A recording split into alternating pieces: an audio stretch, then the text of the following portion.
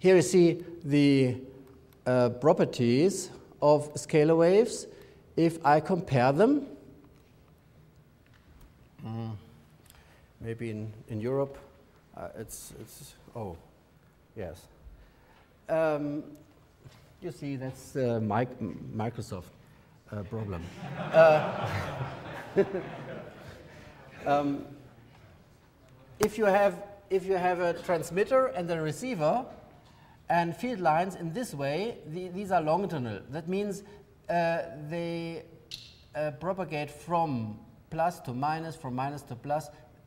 In this direction, we have the electric field pointer. In this direction, we as well have the uh, speed uh, of the wave. Here on the right side, can you see it? It's very, uh, not very strong, the lines. The, li the, lines of the electrical field pointer are uh, just round. They, they move around the transmitter. So this is uh, only part uh, of the power that is uh, receiving the, uh, the receiver. So uh, the fields are scattering, we have transmission losses and so on. But on this left side with the scalar wave, uh, the field lines are focusing, bundling up at the receiver, and so they have no losses.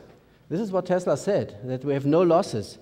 Everything is collected at the receiver. Um, it could be even more if you collect another transmitter in your environment. Um, we have a positive use for the transverse wave, as we know, the radio, information distributed TV. If there are millions of people listening to this uh, transmitter, I think this is a positive use. But if I want to phone only with one person in the world, only with one person, it's not necessary that millions of people listen to what I say. They, th that means that uh, uh, for mobile phoning, this scalar wave would be the right one, and for energy conversion, I think uh, uh this this is energy, and the energy is uh, received. So, uh, if you want to use it in this way, this would be a positive use. A negative use. Um, on the right side would be mobile phoning. Here, this is a negative use. It's the wrong wave, you see. Um, I would say this wave is not allowed to use in this way as we are using today because uh, you touch all the private rooms, the sleeping rooms, and so on, and I don't want to have them in my room, in my private room. They have to remain outside. And this is a real problem, a main problem. Uh, so this is the wrong wave, mobile phoning, and uh, you don't have it as well? Or, um, um, what will it be? Let me reformat the screen. Yes, you may. Uh, um, and we'll see. Um, we, you grant me a moment. No, no, no, no. Stop. We, back again, back again. We'll go watch. No please do back again. I, I, I take a line out, uh, only, only one line out of it. You have to, here, you have to, you see, only this, switch off. How? That's, that was. Okay. So, we almost have to do everything by ourselves. So we can see what the, oh, sorry, sorry, um, back. You accidentally pressed the, the mouse button? Okay, here, watch move it off just a little bit, get the mouse, then go back. Are you want to go back? Okay. Good. Directional radio. Well, that's nearly the same as mobile phoning. Um, uh, and on the other hand, the negative use for uh, scalar waves will be if the receiver is a human being uh, and not a technical receiver. As long as you are using a technical receiver, you have no negative effect, effectiveness because the technical receiver uh, get all gets all field lines and there is no rest.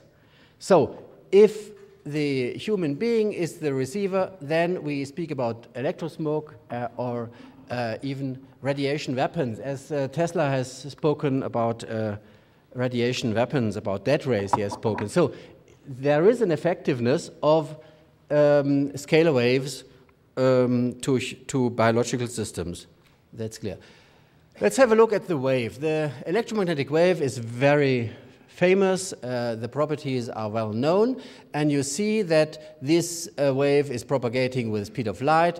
Uh, it is a transverse wave, and uh, so the field pointers are perpendicular to the um, direction of penetration.